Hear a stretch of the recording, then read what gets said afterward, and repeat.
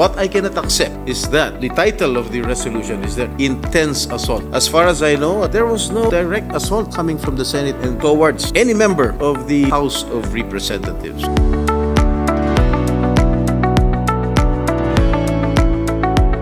Based on our investigation, Are you going to give me the go signal to read all the names involved? It's because I want I want the public to know. We owe the public.